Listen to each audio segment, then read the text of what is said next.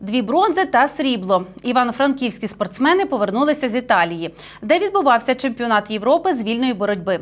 Як юні прикарпатці готувалися до турніру та що для них було найважчим, розкажуть наші кореспонденти.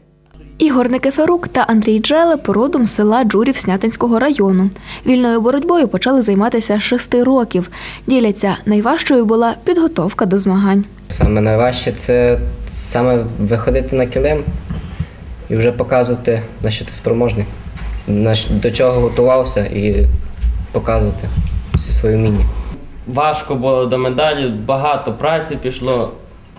На жаль, не така, як хотілося, але Господь все дає, як ми заслужили. Ви не заслуживши цієї медалі. Далі буду більше працювати, молитися, і дай Бог буде набагато краща медаль. Аліну Рудницьку, спортсменку із Бурштина, тренував Гіві Джапарідзе.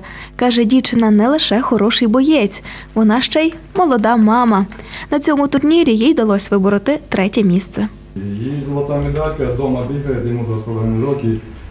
І якщо питання, ну, чому не золота, чому не фінал, ну, фіналістка, то, що кому вона програла, теж я не сказав, що є пода- подарунок. Дівчинка вже е, в рейтингі світовому входить в п'ятерку світу, по дорослих е, і чемпіонка світу. Наразі спортсмени готуються до чемпіонату світу з вільної боротьби, який розпочнеться вже 15 вересня у Словаччині.